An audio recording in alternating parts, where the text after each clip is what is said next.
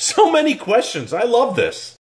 You want answers! I want the truth! You can't handle the truth! Hey there, hi there, ho there, Andrew here with the third video now on some questions that people have asked me online and in person about being a scare actor for Halloween Horror Nights. If you haven't seen the previous Q&As, go ahead and click the link above, and if you have a question yourself that you'd like to have answered that you haven't seen in a previous video, go ahead and leave a comment down below, and let's get into the questions. Question, how much weight did you lose last Halloween Horror Nights, and is that a normal thing with the other scare actors? Well, last year I lost 20 pounds in the month of October during my time at Run, Blood, Sweat, and Fears, and it was exhausting work, but completely worth it. And yes, many other scare actors lose weight during their time at Halloween Horror Nights. So far, I've lost 18 pounds as the time of this recording, and I'm sure I will lose a little bit more by the end of the run. Question, what is the best and worst part of being a scare actor? That is really tough to say because there are so many great things about being a scare actor. I mean, first off, it is a great outlet to get out there and act like a crazy person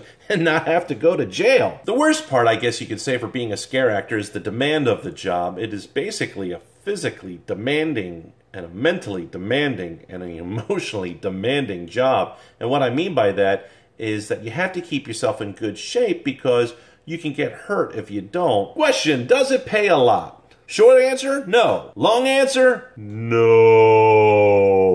No one will ever retire from the cash flow of being a scare actor. After all, they are theme park employees. Question, what is the best scare experiences you've provided for a guest? Well, that could really be a long answer, so I will try and keep it short because that could be a whole series in itself of just me telling stories of how I scared people. I can say that I've scared celebrities that have come through the house. Hello, Walking Dead cast. And that's always fun. Of course, you treat them like anybody else. I mean, could you see Leatherface jumping out of a boo hole and asking somebody to stop for an autograph or a selfie? No. I have scared men bigger than me, which is always a fun thing. I know that I scared a guy who was probably standing around six foot nine and he dropped flat down on the ground, face down, spread eagle like he was being arrested. And the funny thing for me was all of his friends just ran right over him to get away from me. I have scared groups of people as well, and they have all fallen back like I was doing some type of Star Wars force push on them. Those are always really great too. I actually really do enjoy the group scares, I think, more than anything else because there's a bunch of friends and family, and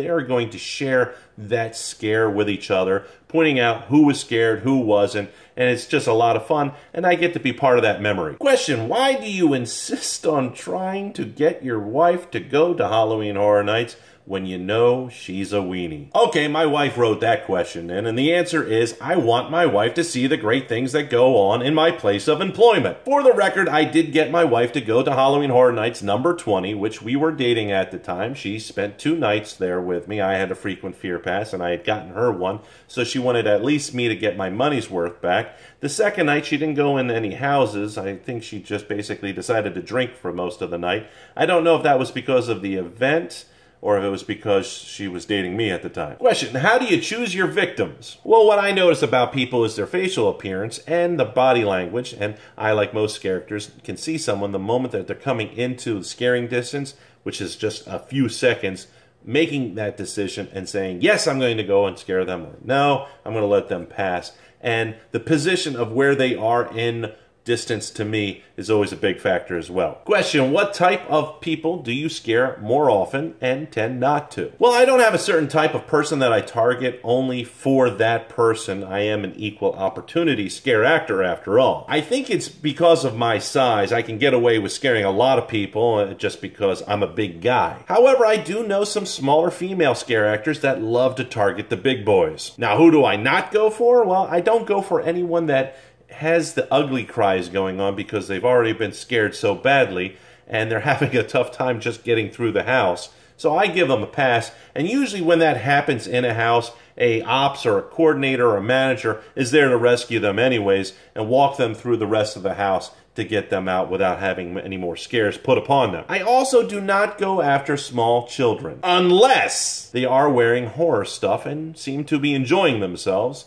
And yes, I have scared many small children. Okay, let's wrap it up on this video here. If you like the video and you're looking for more, go ahead and let's tap that like button. Let's try to get to 50 likes, plus share with all your friends in all forms of social media. If you got a question and you haven't seen it yet in a video, put it down in the comment box below. Don't forget to subscribe so you get notified the moment I upload. And I will see you in the next video.